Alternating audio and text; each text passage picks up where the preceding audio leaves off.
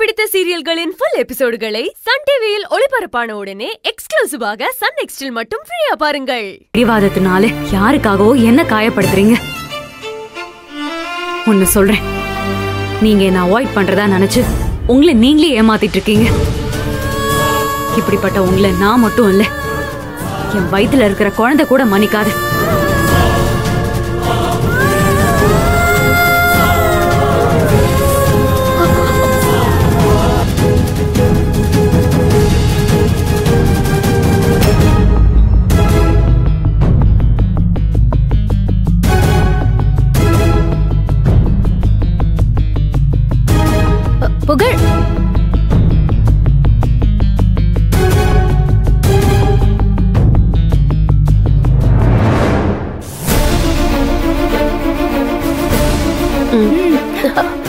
என்னங்க நீங்க?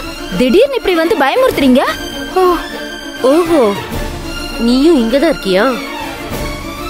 அப்படின்னு அம்மாவும் பொண்ணு சேர்ந்துதான் இங்க வந்திருக்கீங்க போலயே. ம். ஏ சும்மா நிறுத்தடி. ஏண்டி? என் பொண்ணு மாப்பிளைய தனியா சந்திச்சு பேசுனா அது உங்களுக்கு பொறுக்காதா? அவங்கள மறிச்சு பேசி அவங்களுக்குள்ள மறுபடியும் சண்டையை மூடி விட்டுட்டீங்கல்ல? நீங்க ரெண்டு பேர் சேர்ந்து அவங்கள பிரிக்கிறதுக்கு பிளான் பண்றீங்களா? இங்க பார் அப்படி ஏதாவது செஞ்சீங்க உங்க ரெண்டு பேரையுமே சும்மா விட மாட்டேன். ஏண்டி நாங்களும் அவங்கள பிரிச்சோம். ஏற்கனவே அவங்க பிரிஞ்சுதானே இருந்தாங்க. அதான் உன் பொண்ணும் புகழும் சேரணும்னு தானே இவ்வளவு நேரம் அவங்க கிட்ட பேசிக்கிட்டு இருந்தோம். அது உன் காதுல விழலையா? போதுண்டே. உங்க நடிப்பை எல்லாம் புகழ் வேணா நம்புவாரு. நான் நம்ப மாட்டேன். ஒழுங்கா இருந்துக்கோங்க. இங்க பார் நான் என் பொண்ணுக்காக மட்டும்தான் அமைதியா போயிட்டு இருக்கேன் என் பொண்ணோட வாழ்க்கையில ஏதாவது விளையாடணும்னு நினைச்சீங்க? நான் அமைதியா வேடிக்கையெல்லாம் பார்த்துட்டு இருக்க மாட்டேன். அப்புறம் நீங்க பழைய சிவசங்கரியை பார்க்க வேண்டியது இருக்கும். உங்களுக்கு இருக்கிற இடம் தெரியாம அப்படியே அழிச்சிருவேன். அம்மா என்ன பண்றீங்க? அங்க தேடிட்டு இருந்தேன். இங்க என்ன பண்றீங்க? இவங்க கிட்ட என்ன பேச்சு? வாங்க போலாம். வாங்க வாங்க.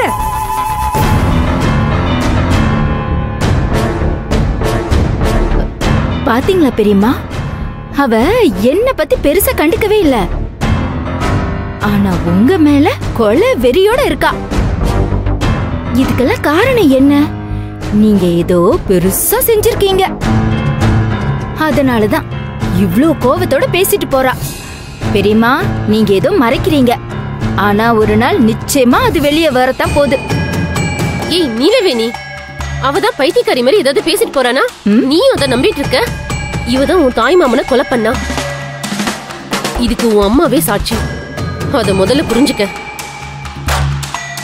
எங்களுக்கும் சிவசங்கரிக்கும் பர்சனலா வேற எந்த பகையும் கிடையாது. வா போலாம்.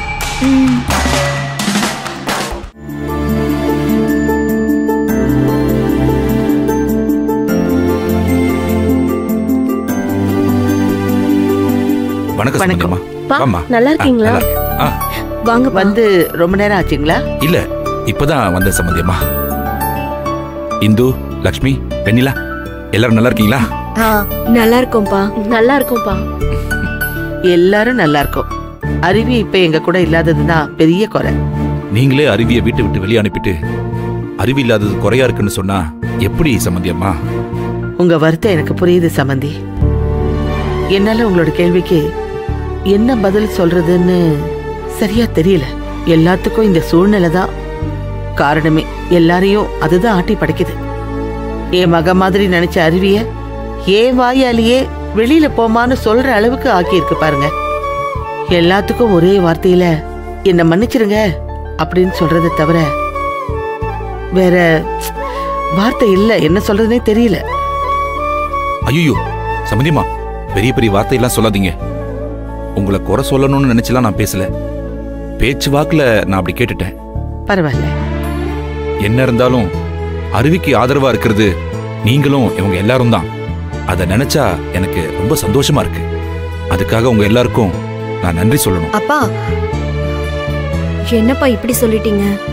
அருவி எங்க கூட பிறக்காத தங்கச்சி. அவளை நாங்க என்னைக்கும் விட்டு கொடுக்க மாட்டோம். அப்பா அவ எங்க வீட்டு பொண்ணுப்பா? அவளை நாங்க என்னைக்குமே மறக்கவே மாட்டோம். ம். சரி இப்போ எதுக்கு உங்களை ஃபோன் பண்ணி வர சொன்னோம்னா நாங்க எல்லாருமா சேர்ந்து அருவியை வீட்டுக்கு கூப்பிட்டு அவளுக்கு பிடிச்சத சமைச்சு போடணும்னு ஆசைப்படுறோம். இத நேரடியா அருவிகிட்ட கேட்கலாம். கேட்டு முடியாது அப்படின்னு சொல்லிட்டான்னு வச்சுக்கோங்களேன். அப்புறம் என் மனசுக்கு என் மனசுக்கு கஷ்டமாயிடும். அதனால தான் உங்கள் மூலமாக சொல்லலாமேன்னு உங்களை வர சொன்னேன். அப்பா உங்ககிட்ட சொன்னா அருவி கிட்ட பேசி அவளை அனுப்பி வைப்பீங்கன்னு தான் நாங்க உங்களை வர சொன்னோம். அப்பா நீங்க தான் எப்படியாவது அருவியக்காவை சம்மதிக்க வச்சு வீட்டுக்கு அனுப்பி வைக்கணும். ஆமாங்க. எங்களோட துரதிர்ஷ்டம் அருவி மாசமா இருக்கும்போது எங்களோட வச்சு பார்த்துக்க முடியல. அவ எங்களை விட்டு வந்து உங்ககிட்ட உங்க வீட்ல இருக்கிற மாதிரி ஆயிடுச்சு. இதுக்கு எங்களால ஒன்றும் பண்ண முடியல. ஆனா ஒரு நாளைக்காவது அருவியை வீட்டுக்கு கூப்பிட்டு அவளுக்கு பிடிச்சதெல்லாம் நாங்க செஞ்சு போட்டு சந்தோஷப்படுத்தணும். வயிறார சாப்பிட வைக்கணும்னு நாங்கெல்லாம் ஆசைப்படுறோம். சம்பந்தியம்மா நீங்க ஆசைப்படுறது தப்பு இல்ல ஆனா இப்ப கூட உங்க வீட்ல இருக்கிறவங்களுக்கு தெரியாம தான் அருவியை கூப்பிடுறீங்க. இல்லையா? ஆமாப்பா. வீட்ல இத பத்தி பேசினா புகழ் தம்பி கோவப்படுவாரு. அப்புறம் எல்லாரும் எதையாவது பேசி அருவியை கூப்பிட விடாம பண்ணிடுவாங்க. அதனாலதான் அவங்க கிட்ட சொல்லாம நாங்களா வந்து கூப்பிடுறோம். இங்க பாருங்க. அவங்களுக்கு தெரியாம கூப்பிடுறதுனால அருவி வீட்டுக்கு வரும்போது அவளுக்கு ஏதாவது அவமானம் நடந்துருமோ ஏதாவது பேச்சுவார்த்தை நடந்துருமோ அதான பயம்? வேண்டாம். பயப்பட வேண்டாம். நாங்கள் எல்லா ஏற்பாடும் பண்ணும்போது வீட்டில் இருக்கிறவங்களுக்கு அருவி வரப்போறான்னு தெரியத்தான் போகுது. அதுக்கப்புறம் நாங்களே சொல்லிப்போம். யாரும் எதுவும் சொல்லாம நான் பாத்துக்கிறேன். என்னை நம்பி அருவி அனுப்பி வைங்க. சம்பந்தியம்மா இவ்வளோ தூரம் உங்களை நான் கேட்க வைக்கிறதே தப்பு தான் ஆனா இப்போ இருக்கிற சூழ்நிலை தான் கொஞ்சம் தப்பாக இருக்கு. நீங்கள் சொன்னதை பற்றி நான் அருவிக்கிட்ட பேசுகிறேன் அவளுக்கு சம்மதம்னா தாராளமா நானே அனுப்பி வைக்கிறேன். அவ அங்க வந்ததுக்கு அப்புறம் எந்த சண்டையும் வராம நீங்க தான் பாத்துக்கணும் சம்பந்தியம்மா அது மட்டும்தான் எனக்கு ஒரே ஒரு பிரச்சனை. சரி. அதை நான் பாத்துக்கிறேன். அருவி வந்ததுக்கு அப்புறம் வீட்ல யாரும் வாயை திறக்க மாட்டாங்க. திறக்க கூடாதுன்னு நான் சொல்லி வைக்கிறேன். ம்? போதுங்களா? அது போதும் சம்பந்தியம்மா அப்பா சம்மதிச்சிட்டாரு. அப்படின்னா அருவியக்கா வீட்டுக்கு வந்த மாதிரி தான்